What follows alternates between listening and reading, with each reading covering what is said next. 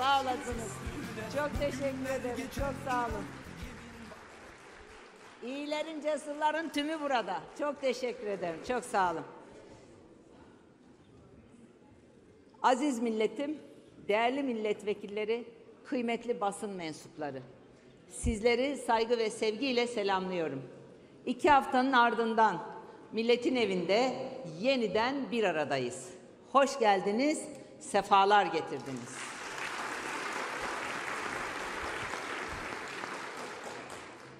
Bu hafta Maraş katliamının yıl dönümü.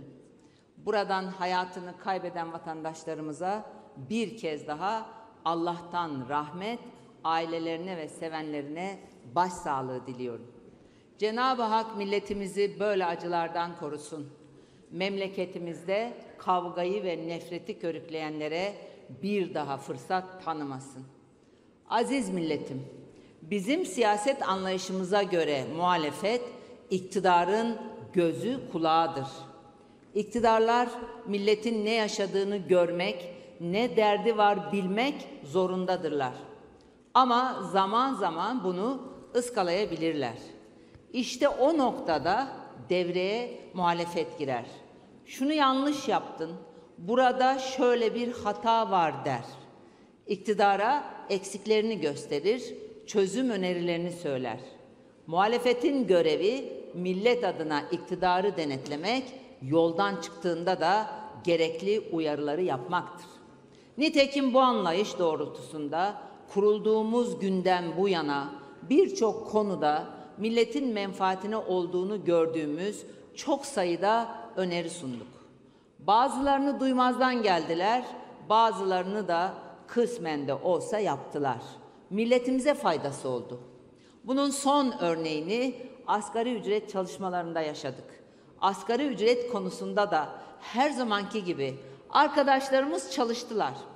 Ülkemizin şartlarını göz önüne alarak önerimizi geliştirdik. İktidarla, milletimizle paylaştık. Dedik ki asgari ücreti 4 bin lira yapın. Devlet eliyle 555 lira vergi muafiyeti sağlayıp işverenin yükünün bir kısmını da omuzlayın. Sonuçta ne oldu? Asgari ücret 4253 lira oldu. İşveren maliyetinin 450 liralık kısmını da devlet üstlendi. İşçilerimiz de zan oranını olumlu buldu. Yani İyi Parti'nin makul siyaset anlayışı sayesinde kazanan milletimiz oldu. Demek ki neymiş? Demek ki neymiş? Muhalefete kulak verildiğinde kıyamet kopmuyormuş. Demek ki neymiş? Muhalefete kulak verildiğinde iyi şeyler oluyormuş. Hep söylediğim gibi bizim çözümlerimiz, projelerimiz miri maldır. Alsınlar, kullansınlar. Yeter ki milletimize faydası olsun. Yalnız milletimizin bu kazancının ne kadar süreceğinden endişe duyuyoruz. Bu yüzden bazı önemli itiraz noktalarımız ve bazı tamamlayıcı önerilerimiz var. Değerli dava arkadaşlarım, şimdi bu arkadaşlar belli ki farkında değiller ama kendi elleriyle yol açtıkları yüksek enflasyon yüzünden açıklanan asgari ücret artışı 4 ayda eriyecek. O yüzden biz İyi Parti olarak 3 ayda bir asgari ücrete güncelleme yapılmasını ve çalışanımızın emeğinin enflasyona karşı korunmasını öneriyoruz. Ayrıca daha önce söyledim, şimdi de tekrar ediyorum. Verimliliği arttırmadan yapılan enflasyon sarmalı neticesinde gelen ücret artışları refahı arttırmaz. Üstelik hane halkı, özel sektör ve kamunun mali dengelerinde de bozulmaya neden olur. İktidarın izlediği mevcut yol çok kısa bir süre içinde enflasyonu arttırarak asgari ücret zamlarını eritir. Buradan iktidardakilere seslenmek istiyorum. Eğer gerçekten bir refah artışı sağlamak istiyorsanız işe hayat pahalılığını azaltmakta, azaltmakla yani enflasyonu düşürmekle başlayın. Eğer gerçekten bu millete nefes aldırmak istiyorsanız işe ilçe ziyaretlerimde kulağıma fısıldanan 15 gündür yemek pişiremedim diyen kadınları dinleyerek başlayın. Şükür fakirin ekmeğidir diyerek sabreden Anadolu insanını görerek başlayın. Siftah yapmadım diyen esnaf sayısını dikkate alarak başlayın. Mesela işe her hafta bu çatı altında ağırladığımız milletimizin sesini duyarak başlayın. Değerli milletvekilleri, her hafta olduğu gibi bu hafta da milletimizin dertlerini milletin evine taşıyoruz. Sansür peşinde koşacaklarına açsınlar, iktidardakiler de din- izlesinler. Bu hafta milletin kürsüsünde asgari ücretlerin sesini saraya duyurmak üzere Cem Güneş kardeşimizi ağırlıyoruz. Kendisini kürsüye davet ediyorum. Buyurun Cem Bey. Söz de, kürsü de sizindir.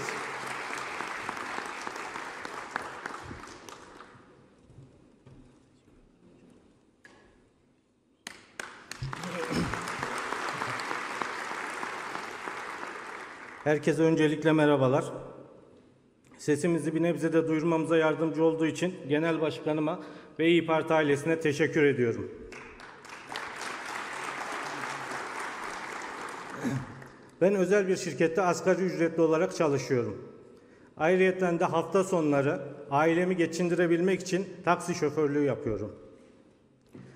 Bana faydası oluyor muydu? Evet oluyordu. Ama şu son zamlardan sonra, gaza ve benzine gelen zamlardan sonra sağ olsun devletimiz bunun da önünü kesti. Eşim rahatsız benim. MS hastası. Ellerinizden öper 4 yaşında bir kız çocuk babasıyım. Ben aileme bakabilmek için gece gündüz demeden, tatil bilmeden çalışmak zorundayım. Ama ne yaparsam yapayım hayat şartlarında olmuyor. Hep bir zam yağmuru altında ıslanıp duruyorum. Gün geçmesin ki o yağmur her seferinde daha da hızlanıyor. Asgari ücrete zam geldi. Sözde zam bana göre sus payı bu. Bu sus payı zaten gelmeden de bitti. Kira zammı, market fiyatları, manavıydı, kasabıydı, yol paralarına gelecek zamlardan sonra eriyip gitti. Asgari ücretliye bu zamdan ne kaldı diye sorarsanız tasası kaldı. Bir dahaki ayın sonunu nasıl getiririm tasası. Bizler güzel ülkemizde böyle yaşamayı hak etmiyoruz. Benim gibi nice zorluklarla evini geçindirmeye çalışan insanlar var. Asgari ücret ile çalışan. Sorun hangi, hangi asgari ücretlinin bir hayali var? Bu parayla ne hayali kurabiliriz ki zaten? hızla derinleşirken Bu gelmeden giden, günden güne eriyen, her gelen zamla bizi eksiye sürükleyen parayla biz bir hayal kuramayız. Kuracağım en büyük hayal çocuğumu yatağa aç sokmamak olacaktır. Bizim en büyük yeteneğimiz ne biliyor musunuz? Yetmeyen şeyleri getirmeyi başarmak.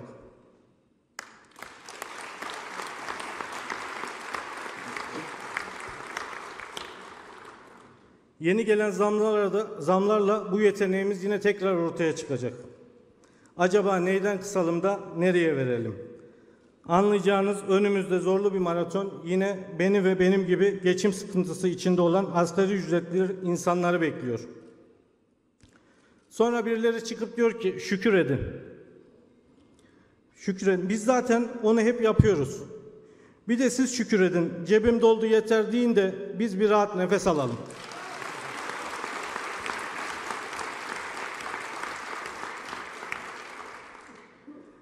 Asgari ücret komisyonları kuruluyor her yıl sonunda ücret belli olsun diye.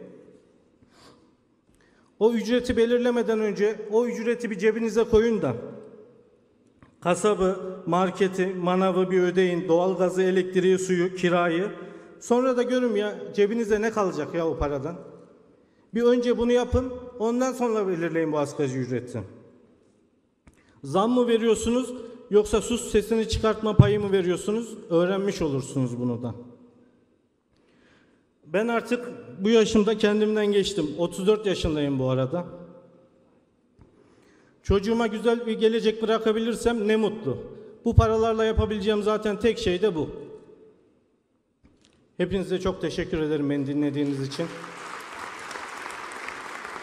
Başkanım size de tekrar teşekkür ediyorum. Bizlere bu fırsatı sunduğunuz için. Allah sizden razı olsun.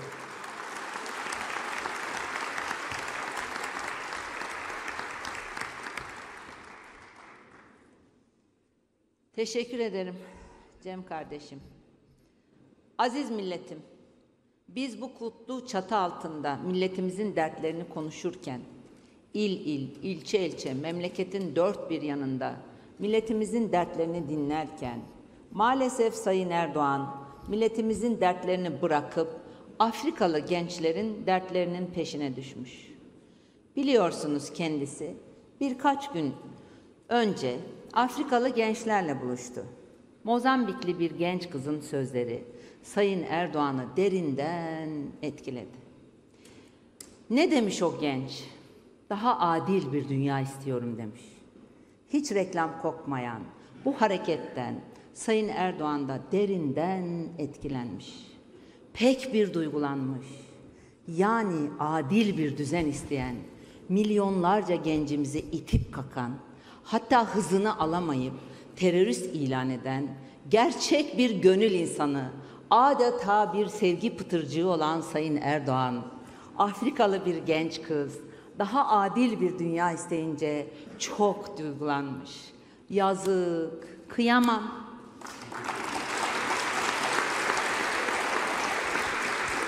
Ekonomi yangın yeri. Sayın Erdoğan, Mozambikli gençlerin derdine düşmüş. Şu ciddiyetsizliğe bakar mısınız? Milletine yabancılaşmış şu yönetim anlayışına bir bakar mısınız?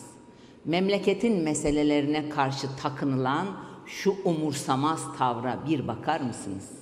Yazıklar olsun. Bu garip tavır yetmiyormuş gibi kendisi iki gün önce çıktı ve bir açıklama yaptı. Dedi ki, Başbakanlığım, burası çok önemli, dikkatle dinleyin. Başbakanlığım döneminde döviz rezervini 135 milyar dolara çıkardık. Ama daha sonra bir düşüş yaşandı. Ben o sırada yoktum, Cumhurbaşkanıydım. Aynen böyle dedi, inanamıyorum. Evet, yanlış duymadınız. Aynen böyle dedi. Arkadaş var ya hani sevimli hayalet Casper misali o sırada orada değilmiş. Şu ibretlik psikolojiye bakar mısınız? Sayın Erdoğan, o günleri geçtim. Belli ki sen şimdi de buralarda değilsin. Türkiye 1994 ve 2001 krizlerinden daha derin bir kur krizi yaşıyor. Sen oralı bile değilsin. Palyatif adımlarla ön almaya çalıştığın bu kur krizinin devamı üretimde ve bankacılık sektöründe bir krizdir. Bunu böyle bilesin. Her gün bir şirket ya da birlik faaliyetlerine daha fazla devam edemeyeceğini belirten açıklamalar yapıyor. Bak sana sadece son üç günden örnek vereyim. Tüm süt, et ve damızlık sığır yetiştiricileri derneği sizin bu akıl ve bilim dışı politikalarınız sonucu artan üretim maliyetlerinden dolayı yaz aylarında et ve süt darboğazı yaşanacağını söylüyor. Enerji, petrol, gaz ikmal istasyonları işveren sendikası dayanacak güçleri kalmadığını, iflasın eşiğine geldiklerini açıkladı. Tur yol İstanbul'daki bazı seferlerini durdurduğunu açıkladı. İlaç ve tıbbi cihaz üreticilerinin önemli bir kısmı iflasın eşiğinde. Ortopedi ve beyin cerrahisi ameliyatlarının yapılamama riski var. İş bilmez ekibinle el ele verip sebep olduğunuz hayat pahalılığı ile memleketi milletçe yoksullukta eşitlediğimiz, eşitlediğiniz bir duruma getirdiniz. Fakat bu kafayla giderseniz bir süre sonra sadece yoksullukla değil, Allah korusun yoklukla da karşılaşacağız. Bu vesileyle buradan Sayın Erdoğan'ı içine girdiği bu garip psikolojiden acilen çıkıp belli ki başbakanlığı döneminden beri başında bulunmadığı görevinin yeniden başına dönmeye ve milletimizi de daha fazla mağdur etmemeye davet ediyorum.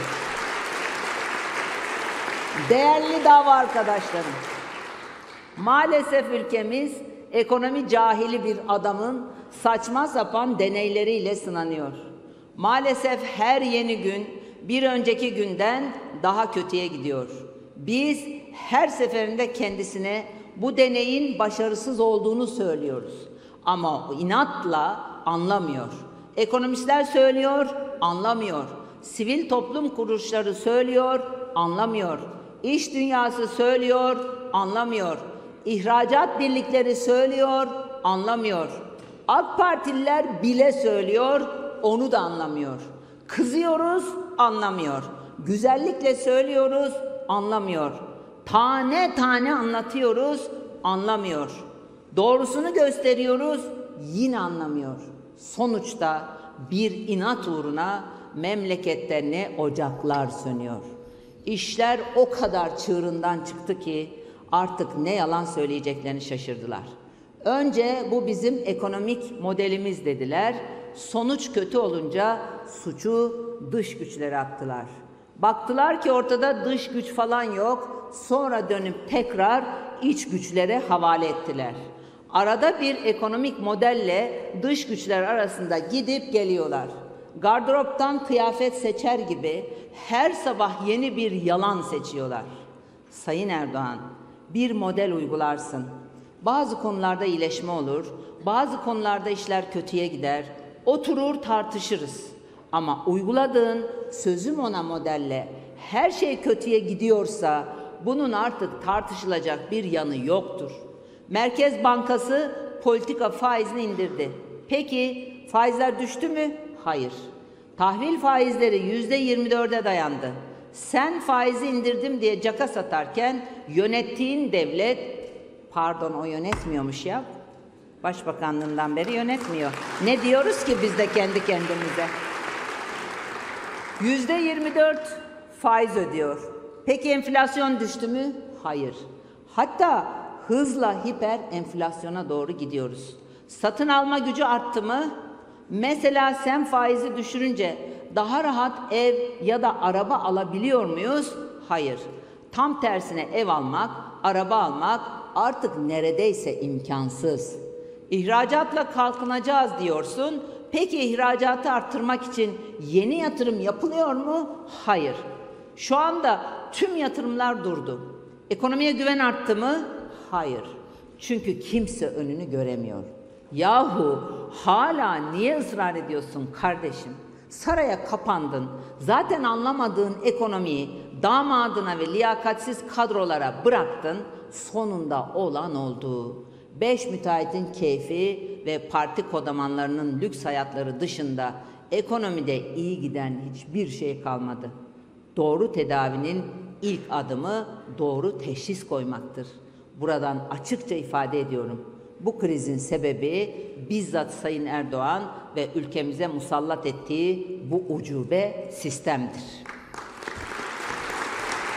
Değerli kardeşim, ikide bir dış güçler deyip meseleden sıyrılmaya çalışma. Bu dış güçler her zaman vardı, bundan sonra da olacak. Bu krizin sebebi bizzat sensin, sen. Ne güzel söylemiş Ozan Arif. Her türlü hatayı, yanlışı yap yap. Ondan sonra vay efendim dış güçler. Çarşıya uymazsa evdeki hesap, ondan sonra vay efendim dış güçler. Dış güçler de hırlı değil elbette. Ama önce bak sen kendine.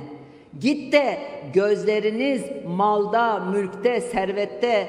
Ondan sonra vay efendim dış güçler. Liyakati almayarak hiç kale, akrabaya, tanıdığa ihale. Cenab-ı Hak koyunca da bu hale, ondan sonra vay efendim dış güçler. Fırsat deyip dört tarafa dal götür, kitabına uydur uydur mal götür. Yol yaparken yolsuzluk yap çal götür, ondan sonra vay efendim dış güçler. Etrafınız hep yiyici tip dolu. Atlarında dört çekerli jip dolu. Hepsinde cukka sağlam, cep dolu. Ondan sonra vay efendim dış güçler. Pirinç, buğday, nohut, bulgur, soğan, et. Ne varsa hep dışarıdan ithal et.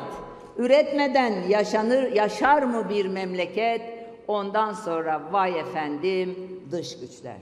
Sayın Erdoğan, sen milleti bu ucube sistemine ikna ederken verin yetkiyi dolarla, faizle nasıl uğraşıyor, uğraşılıyormuş görün demiyor muydun?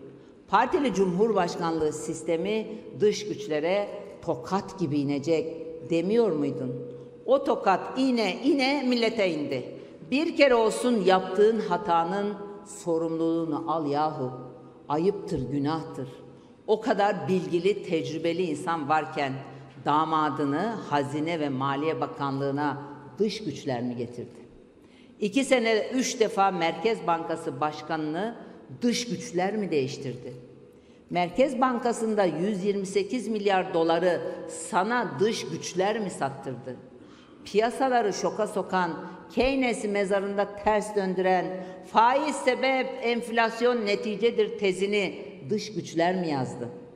Türk çiftçisini dış güçler mi borca soktu? Kamu bankalarından milyar dolarlık ballı kredileri yandaşlarına dış güçler mi verdi? Devleti dolandıran düzenbaza yılın ihracatçı ödülünü dış güçler mi verdi? Bir buçuk milyar dolarlık köprüye 13 milyar dolar garantiyi dış güçler mi verdi? Beşli çetenin vergi borçlarını dış güçler mi sildi? Partili Cumhurbaşkanlığı sistemi ucubesini dış güçler mi getirdi? Milletimize bu zorlukları reva gören sensin Sayın Erdoğan. Bak işte bütün bunlar sebep, olanlar da sonuçtur. İktidar karar merci olduğu kadar sorumluluk merciidir. Bu fakirliğin, bu zamların, bu fırtınanın, bu çilenin sorumlusu sensin. Ben o sırada yoktum deyip geçemezsin. Sorumluluğunu kabul edeceksin.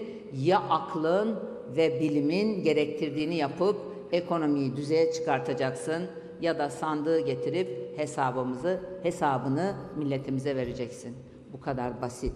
Değerli milletvekilleri, hiçbir hesabı tutmayan büyük ekonomistimiz son olarak akıl dolu bir hamleyle dolara çevrilebilir mevduat kavramını 50 yıl sonra tekrar hayatımıza soktu.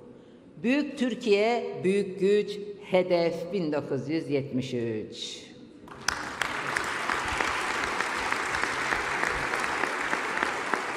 ...2023 hedefleri gitti, yerine 1973 çözümleri geldi.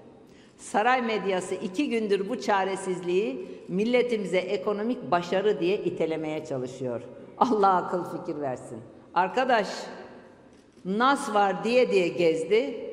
Pazartesi akşamı çıktı, hayatımıza yepyeni bir faiz tipini sokuverdi. Türk, Türk lirası mevduatına mevduata dönenlere kur farkını devlet olarak ödeyeceklerini açıkladı. Yani gitti Türk lirasını dolara bağladı. Benim itibarım yok. Amerika'yı kendime kefil tutuyorum dedi. Çocuk mu kandırıyorsun Sayın Erdoğan? Madem kur farkını yani gizli faizi ödeyecektin, bugüne kadar faizle bu kadar oynayıp döviz lobilerinin ekmeğine niye yağ sürdün? Madem adına faiz demeden faiz ödeyecektin, sanayicimizden esnafımıza, çiftçimizden emekçilerimize bu çileyi neden yaşattın? Adını faiz koysan bankalar piyasa şartlarına göre davranacak, yükü de omuzlayacaklardı. Ama şimdi kur farkını ödeyeceğim diyerek hem faiz hem de döviz lobisini milletin hazinesinden besleyeceksin. Türkiye ekonomisi deneme tahtası mı? Türk milleti kobay mı? Böyle iş bilmezlik olur mu? Böyle devlet yönetilir mi? Yazıklar olsun sana. Mart ayından beri otomatiğe bağladığın saçmalıklar zincirini yapmasaydın şimdi nasıl bir Türkiye olurdu biliyor musun? Dolar kuru 7 lira 50 kuruş, enflasyon yüzde 16-17, politika faizi yüzde 15, hazinenin borçlanma faizi yüzde 16 olurdu. Bütçenin ve ülkenin dış borçları da katlanmamış olurdu. Oysa senin şımarıklığın yüzünden bugün enflasyon yüzde ellilere ulaştı. Tic koşuyor. Ticari kredi faiz oranları yüzde otuzu aştı, daha da yükselecek. Hazine borçlanma faizleri yüzde yirmi dört oldu, o da yükselecek. Yalnız hakkını teslim edeyim. Politika faizi daha düşük, yüzde on dört. Tüketicinin, esnafın, sanayicinin faizi yükseldi, bir tek senin politika faizin düştü. Artık Merkez Bankası bankalara yüzde on dörtle borç veriyor, bankalar da aynı parayı hazineye yüzde yirmi dörtle satıyor. Gerçekten zeka dolu adımlar. Yürekten kutluyorum. Bu vesileyle iktidardakilere bir çağrıda bulunmak istiyorum. İki gündür saray medyasında davul zurna eşliğinde kutlama yapmayı biliyorsunuz. Madem kur düştü, madem artık uçuyoruz, o zaman hemen doğal gaz ve elektrik fiyatlarını derhal düşürün. Madem bu büyük bir ekonomik başarı, o zaman bu başarının nimetlerinden şu zor kış şartlarında milletimiz de yararlansın. Buyurun, hodri meydan. Aziz milletim, meclisteki bütçe görüşmeleri nedeniyle grup toplantılarımıza iki hafta ara vermiştik. Bu iki haftada tam altı il gezdik. Sayın Erdoğan ve arkadaşları Mozambik'in gelişmesine kafa yorup bu sırada da saraya yeni araba siparişleri verirken bizim gittiğimiz meydanlar çaresizlerin sesi oldu. Sayın Erdoğan demeçleriyle memleketimizi batırmaya devam ettiği günlerde biz onun açtığı yaraları sarmak için milletimizle buluştuk. Gittiğimiz her yerde milletimize yarın sabah yarın sabah nasıl bir Türkiye'de uyanmak istersiniz diye sordum. Aldığım cevaplar ibretlikti. Marketçi bir kardeşim insanların iç geçirip bir şeyleri alamadığı değil, alabildiği bir Türkiye dedi. Lokantacı bir kardeşim insanların gördüğünü yiyebildiği bir Türkiye dedi. Emekli bir kardeşim refah seviyesi yüksek, kimseye minnet etmeyen bir Türkiye dedi. Emekli demişken beş ayrı farklı rakamda emekli maaşı alan Bağkur ve SSK emeklilerimizin yani 2600 lirayla 1600 arasında farklı farklı emekli maaşı alan emeklilerimizin Bağkur ve SSK emeklilerimizin maaşlarının asgari ücretle asgari ücretle eşitlenmesini de burada iktidardan talep ettiğimizi bildirmek isterim. Bunun da takipçisi olacağımızı buradan duyurmak isterim. Genç bir anne, genç bir anne, çocuklar bir şey istediğinde alabildiğim bir Türkiye dedi.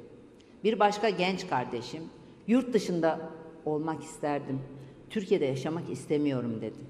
Her ne kadar iktidardakiler ülkemizin içinde bulunduğu bu ibretlik tablodan memnun olsa da milletimizin yaşadıklarını duymak, görmek, bilmek istemese de gördüğüm acılar, şahit olduğum hikayeler, duyduğum dertler karşısında artık benim kalbim ağrıyor. Mesela Amasya'da karşımıza çıkan bir vatandaşımız diyor ki bir ekmeği alamayan insanlar var bu ülkede. Altı buçuk yaşındaki çocuğun sırtına bile borç yüklüyor bu hükümet. Biz bıktık artık. Yaşamaktan da bıktık. Merzifonlu genç bir kardeşim diyor ki lise 1'deyim. Adam olun diyorlar bize. Kitap okuyun diyorlar. Gidiyoruz bir kırtasiyeciye, bir kitapçıya. Kitaplar 50-60 liradan başlıyor. Ne yapmamızı bekliyorlar bilmiyorum. Kafa dağıtalım, bir kahve içelim diyoruz. Nereden baksanız 20-30 lira. Artık bu ülkede kitap okumak, eğitim görmek bile lükse girdi.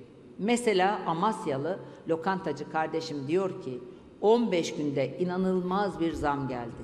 İnsanların yemek gücü kalmadı. Çorbaya ekmek banıyor insanlar şu anda. Ekmek bile ekmek ile karınlarını doyuruyorlar. Az çorba isteyenlerin sayısından ekonominin durumunu anlayabiliyoruz. Gaziantep'li lokantacı kardeşim diyor ki eskiden geldikleri zaman fiyat sormazdı insanlar. Şimdi çorbanın fiyatını soruyorlar. Mesela ülkemizin içinde bulunduğu tabloyu Eskiden ekmek aslanın ağzındaydı. Şimdi aslan da aç. Biz ne yapalım? Sözleriyle özetleyen Osmaniyeli bir üretici kardeşim diyor ki, gübre alamadık ki tarlamızı ekelim. Hayvanları da satıyoruz. Yem de yükseldi. Bir torbası 250 lira. Nasıl alalım yani? Önceden senede bir kez zam gelirdi. Artık her gün zam geliyor. Günlük zam olmaz ki. Manisalı zeytin işçisi kardeşim diyor ki 100 lira yemeğe ile çalışıyoruz. 1 kilo yağ 50 lira oldu. Ne yapacağız? Ne yiyeceğiz? Akşama kadar 2 kilo yağ için çalışıyoruz. Daha ilginç bir edebiyat öğretmeni genç bir kadın kardeşimiz dedi ki bana Meral abla ben şu anda zeytin toplamaya ondan sonra şey özür dilerim önce şimdi domates toplamaya ondan sonra da ertesi günde zeytin toplamaya gideceğim. Edebiyat öğretmeniyim, zeytin topluyorum, domates topluyorum. Kilisli bir esnaf kardeşim 40 yıl önce kendilerinin ürettikleri gömleği artık ithal ediyorlarmış. Diyor ki bu ürünü ürünü diken iplik ithal, iğne ithal, makine ithal. Şimdi diyorlar ki doların ucunu bıraktık. Peki bu nasıl olacak? İşler son iki aydır sistemli olarak düşüyor. Bir an önce bu inattan vazgeçilmesi lazım. Manisalı mühendis bir oğlumuz diyor ki, çıkıyor bir açıklama yapıyor, dolar ertesi gün artıyor. Dolar arttığında benim aldığım kalem, aldığım ekmek, üstümdeki şu ceket bile ertesi gün pahalanıyor. Yani biz artık çok sıkıldık, çok yorulduk bu durumdan. Mesela Elbistan'da hem esnaflık hem de üreticilik yapan bir kardeşim diyor ki, geçen sene 400 hayvana aldığımız yemin bu senekiyle arasındaki fiyat farkı 700 bin lira. Şimdi düşünün nasıl hayvan besleyeceğim, nasıl bir ticaretle uğraşacağım. Maliyet yükseldikçe satışlar da durdu. 10 müşteriden sadece 5 tanesi alıyor. Aktar dükkanı olan Akhisarlı esnafımız diyor ki, her gün etiket değiştiriyorum. Akşam sattığım sabah zarar. Karabiber akşam 100, sabah 150 oldu. Bana gelişi 125 lira olmuş. Kahve deseniz öyle. 90 liradan 150 liraya çıktı. Buradan Sayın Erdoğan'a sesleniyorum. Bak bunlar Türkiye'nin gerçekleri. Faiz sebep, enflasyon netice diye diye şahsi inadının peşinde milletimizi de felakete sürüklüyorsun. Senin için her şey yolunda olabilir ama esnaflar, çiftçiler çok yorgun. Öğrenciler, gençler çok yorgun. Emekliler, kadınlar çok yorgun. Senin yüzünden artık çocuklar bile yorgun. İnsanlarımızın sabretmeye gücü de, mecali de kalmadı. Ayıptır, günahtır. Bu büyük millete böyle zulüm yapılır mı? Düşün artık bu milletin yakasından. Yazıktır, günahtır. Hala çıkıp utanmadan ekonomik kurtuluş savaşı mücadelemizi başarılı bir şekilde sürdürüyoruz diyorsun. Ortadaki tek savaş milletçe senin bu cahil inadına karşı verdiğimiz savaş. Ortadaki tek mücadele senin ve ekibinin beceriksizliğinizle olan mücadelemiz ve artık tek kurtuluş sandıkla gelecek kurtuluşumuz. Aziz milletim.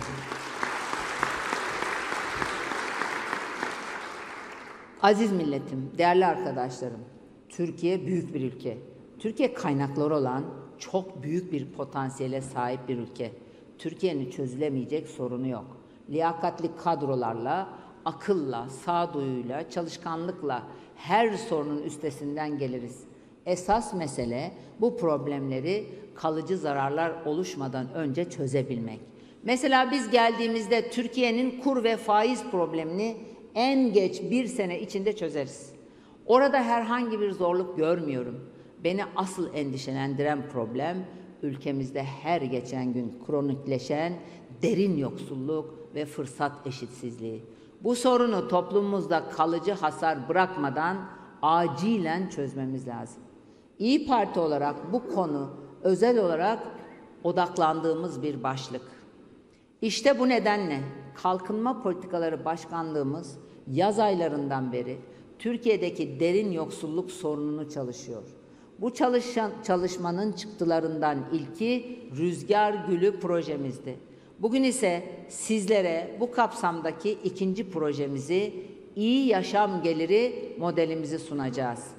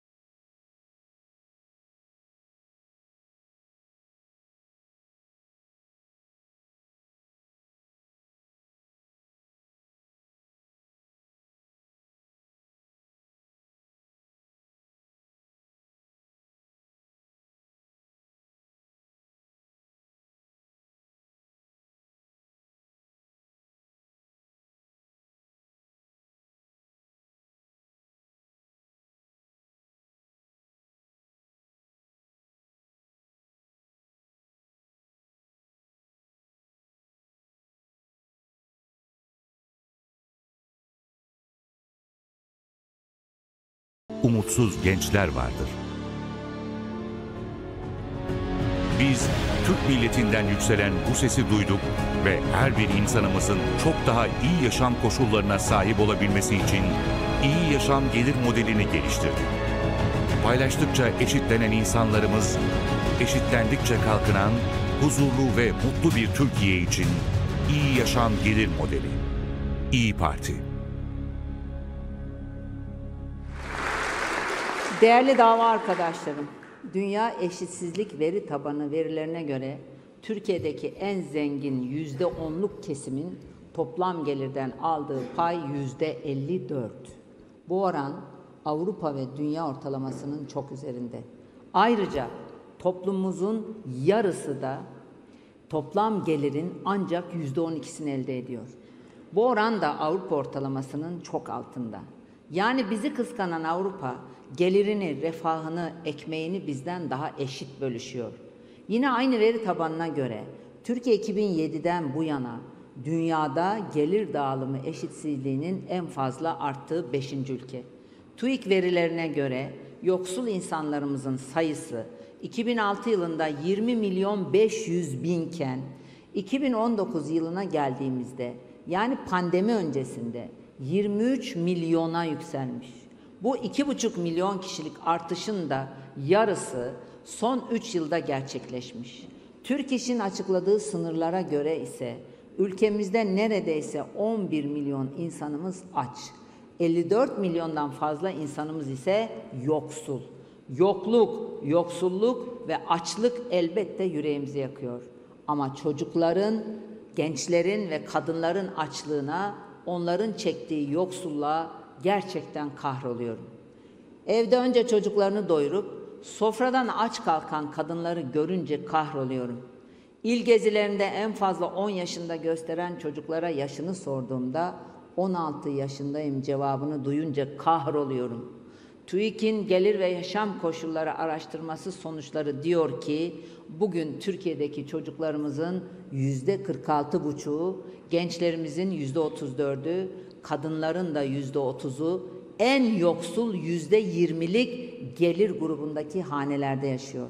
İşte biz yoksullukla mücadele çalışmalarımız kapsamında tam olarak da bu nedenle ilk olarak Rüzgar Gülü projemizi açıkladık ve İyi Parti iktidarında bütün çocuklarımızın karnını doyurmanın, onların sağlıklı beslenmesini sağlamanın sözünü verdik. Buradan iktidara sesleniyorum. O devamlı çıkar telefonunu göster diye taciz ettiğiniz gençler var ya, işte 1997 ve sonrası doğumlu o gençlerimizin tam 6.2 milyonu yoksul. Yani bu gençler onlara ukala ukala telefonunu soran şımarıklardan daha yoksul.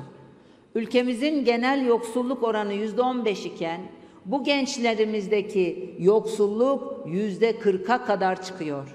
Biliyor musunuz?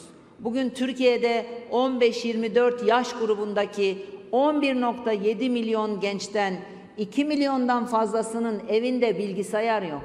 850 bin gencin evinde internet yok. 1.3 milyon genç eskimiş giysilerinin yerine yerisi, yenisini alamıyor. 1 milyondan fazlası ikinci bir ayakkabı alamıyor. 1.8 milyon gencimiz spor, sinema, konser gibi sosyal aktivitelere katılamıyor. Bir buçuk milyonu ise küçük miktar bir parayı bile sırf kendini iyi hissetmek için harcayamıyor. İnsanın canını acıtan Sayın Erdoğan ve etrafının değil ama hepimizin vicdanını yaralayan bu tabloya seyirci kalamayız. Kalmayacağız. İşte o nedenle İyi Parti olarak ülkemizde giderek artan yoksulluğa, sosyal adaletsizliğe ve gelir eşitsizliğine bir çözüm olarak iyi yaşam geliri modeli projemizi hazırladık. Bu projeyle 18-26 yaş arasındaki tüm gençlerimize medyan gelirin yarısının altında kalan 4 milyon hanedeki kadınlara 2021 fiyatlarıyla aylık 1000 lira iyi yaşam gelir desteği sunacağız. Bu projemizle yoksulluğu ve gelir adaletsizliğini azaltıp kişi başına düşen gelir de artıracağız. Yaptığımız çalışmalara göre iyi yaşam gelir desteğini vatandaşlarımıza sunduğumuzda ülkemizdeki yoksulluk oranını yüzde 48 azaltacağız. Yoksulluk açığını yüzde 23 azaltacağız. Kişi başına düşen geliri ise ortalama yüzde 6 oranında arttıracağız. Tabii şimdi malum iktidar çevreleri hemen soracaklar. Kaynak nerede diyecekler. Hiç merak etmesinler.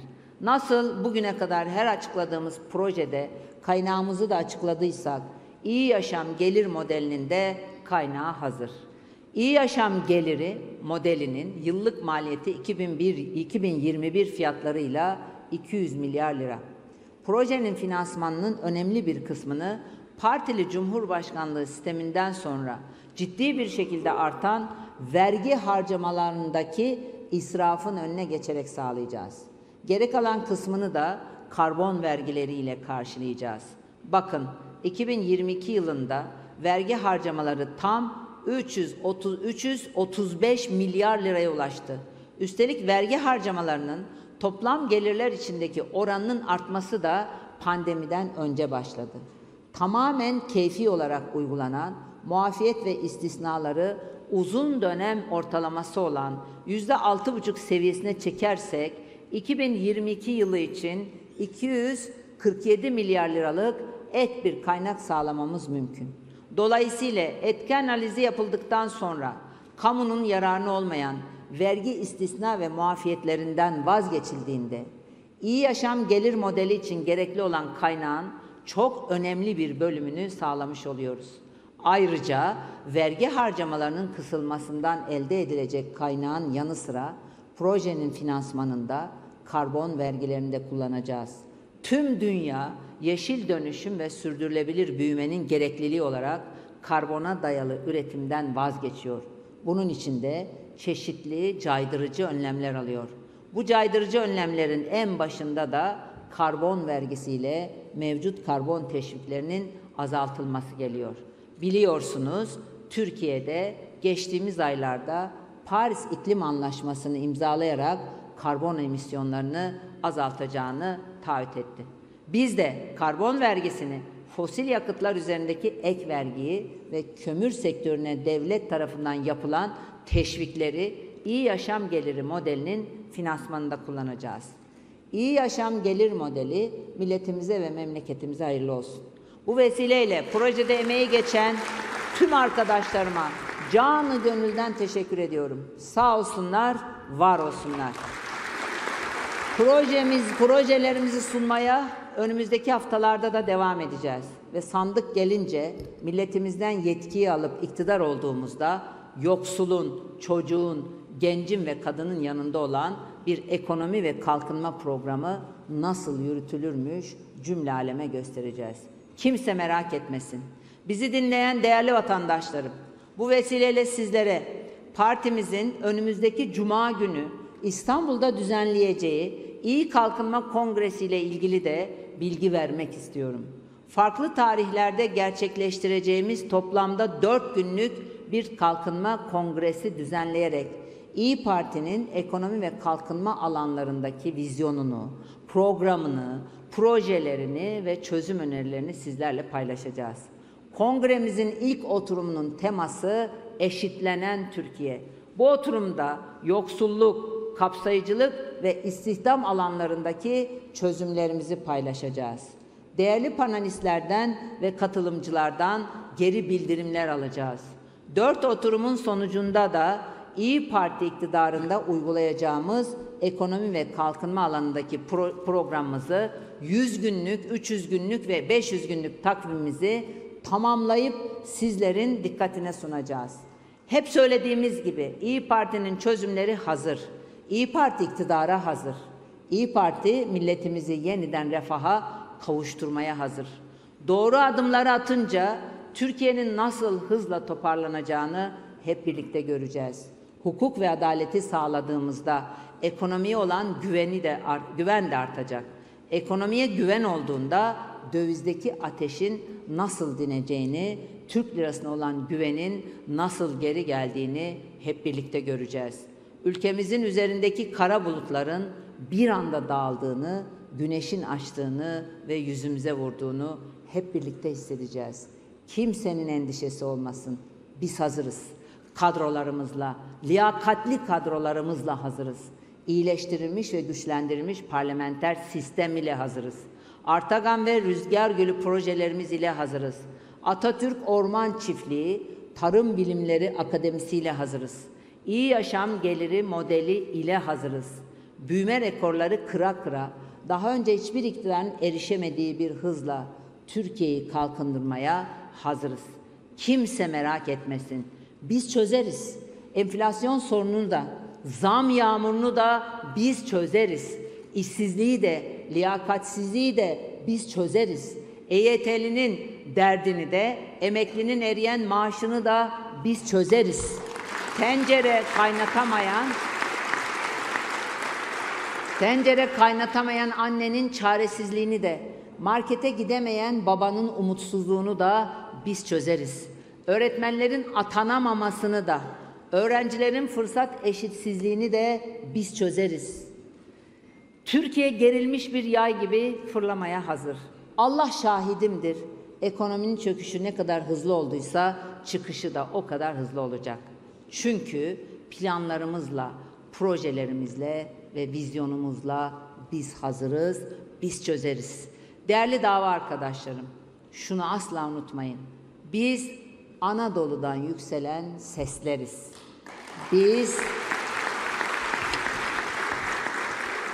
Biz bağrına taş basanların merhemiyiz. Biz Türk milletinin kutlu iradesinin gücüyüz. Biz şanlı bayrağına, kutsal toprağına ve aziz ecdadına sahip çıkanlarız. Biz atasının yadigarı cumhuriyete vefa duyanlarız. Biz fukaranın partisiyiz. Biz dertlinin partisiyiz. Biz çarenin ve umudun partisiyiz. Biz makulün partisiyiz. Bizim mücadelemiz hak mücadelesi, hukuk mücadelesi, adalet mücadelesidir. Bizim mücadelemiz milletimizin evini, ocağını, yurdunu yaşatma mücadelesidir. Bizim mücadelemiz tarihinin tüm acılarını yüreğinde yaşayan, tüm deneyimlerini aklında tutan, eski, yeni diye ayırmayan, ayraş, ayrıştırmayan, zengin, mutlu ve huzurlu bir Türkiye mücadelesidir. Bu kutlu mücadelede Allah yar ve yardımcımız olsun. Sağ olun, var olun, Allah'a emanet olun. Sağ olasınız.